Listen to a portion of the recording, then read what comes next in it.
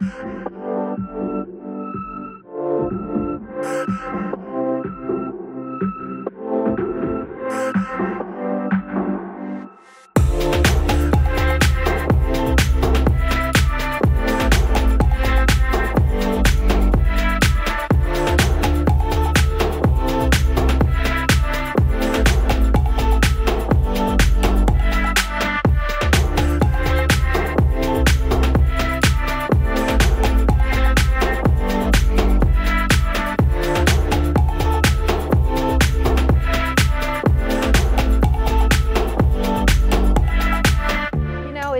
A fun conference. And it's, it's truly a wonderful experience.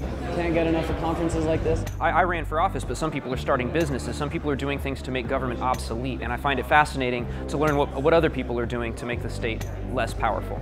Yeah, it's an excellent conference.